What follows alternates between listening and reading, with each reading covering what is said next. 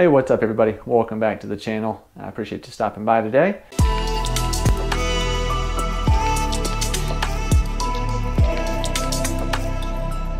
So today for me is basically just a rest day.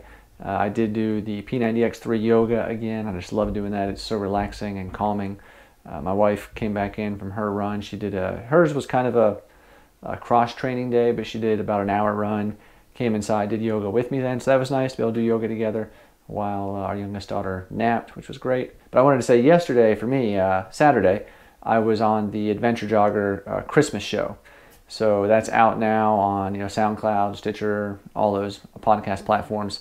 Uh, it was a lot of fun. Uh, it was very loosely running related. We we did talk about running just a little bit, uh, but it got pretty entertaining off the rails. So, but it is not family friendly. So fair warning. Uh, but it was fun to be in it. It was really cool because uh, Andy Jones Wilkins was there, uh, you know, so we got to talk with him.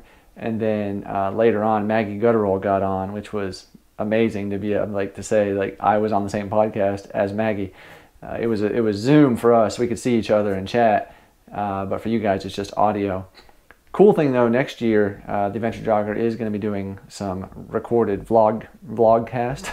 They'll be doing podcasts, but it's still going they're going to record it as well, so you can watch it, which would be really neat. Uh, so yeah, it was a lot of fun. So go check it out. I'll link down below in the description to the uh, episodes. You can take a listen to it. It's pretty long. It's like over two hours, but it's fun.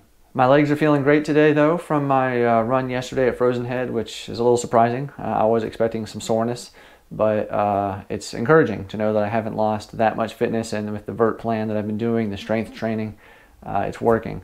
You know, my legs feel good and I ran pretty well up that mountain yesterday and, you know, I feel good. So, so I'm definitely looking forward to the future and uh, training and racing. So hopefully uh, races can happen next year.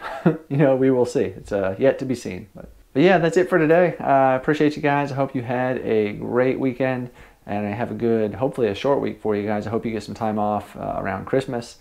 I'll be off uh, half day Wednesday, then all day Thursday and Friday.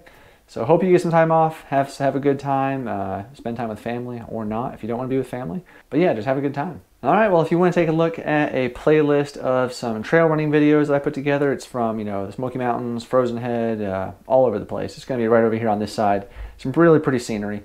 Uh, and then over on this side is a video that YouTube says is best for you. So check that out too. Uh, also, if you would give a, a, uh, thumbs up and subscribe, I would appreciate that. We'll continue to grow the channel and uh, go onward and upward. So thank you all. I appreciate you, and I will talk to you tomorrow.